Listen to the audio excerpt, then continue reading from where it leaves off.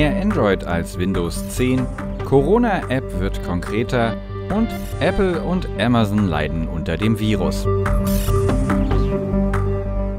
Wir haben in dieser Woche Windows 10X im Emulator ausprobiert. Es unterscheidet sich äußerlich vom herkömmlichen Windows 10. Symbole sind möglichst groß und Menüelemente für die Bedienung mit dem Finger ausgelegt. Die Besonderheit ist aber, das OS ist für Dual-Screen-Geräte optimiert und setzt entsprechend einen Fokus auf das Anzeigen mehrerer Fenster. Im Emulator können wir aber auch nur einen Bildschirm oder ein Clamshell-Notebook mit Software-Tastatur simulieren. Microsoft bringt interessante Ideen ein, muss aber noch an der Win32-Kompatibilität arbeiten. Die US-Konzerne Google und Apple haben neue Details zur geplanten Corona-Tracing-App veröffentlicht. Demnach sollen alle Android-Geräte ab Version 5.0 die neue Bluetooth-Schnittstelle nutzen können. Das wären fast 95 Prozent aller weltweit genutzten Android-Geräte. Die Apps dürfen aber weder Werbung zulassen noch die Standortdaten der Nutzer aufzeichnen. Für den Erfolg der App ist eine hohe Nutzerquote von 50 bis 60 Prozent der gesamten Bevölkerung erforderlich. Dennoch setzt die Bundesregierung weiterhin auf eine doppelte Freiwilligkeit bei der Nutzung. Niemand soll verpflichtet werden, die App zu installieren. Ebenfalls muss niemand die Daten seiner Kontakte an die Gesundheitsbehörden weiterleiten. IT-Experten bezweifeln jedoch weiterhin, dass die Bluetooth-Technik für die Detektion von Kontakten geeignet ist. Wann die App überhaupt eingesetzt werden kann, ist weiter offen. Als der Lockdown Ende Januar in Kraft trat, verzeichnete Apple für den Monat Februar einen sehr starken Nachfragerückgang, sagte der Apple-Chef Tim Cook. Der Gewinn ging um 3% auf 11,25 Milliarden US-Dollar zurück. Amazon verzeichnet hingegen wegen der Corona-Pandemie einen massiven Umsatzanstieg, aber der Gewinn brach wegen höherer Ausgaben ein. Um 29% auf 2,5 Milliarden US-Dollar. Die Aufnahme von Produkten, die man als nicht wesentlich einstufte, wurde zeitweise eingestellt. Die Versandkosten wuchsen weltweit um 49 Prozent auf 10,9 Milliarden US-Dollar.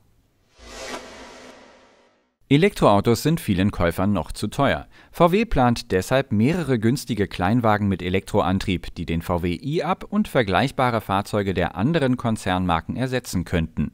Nach Abzug der Kaufprämie sollen die Autos weniger als 15.000 Euro kosten.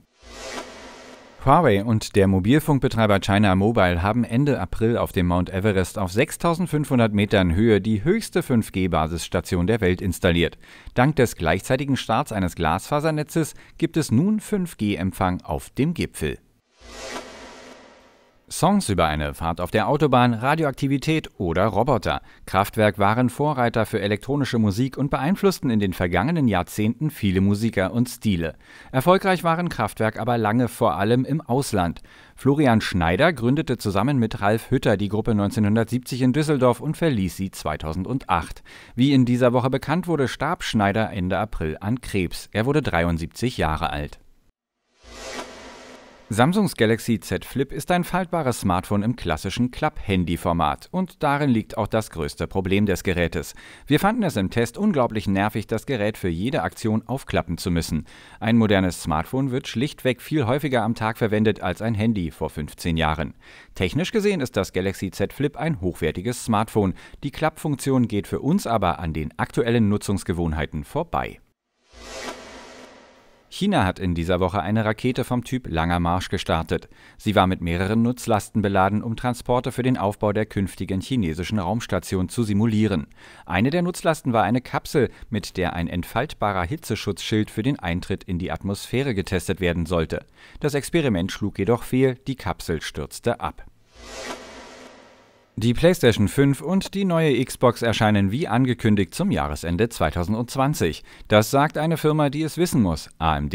Der Chiphersteller hat im Gespräch mit Analysten bekannt gegeben, jetzt die Massenfertigung für die Prozessoren hochzufahren, die in den neuen Konsolen stecken.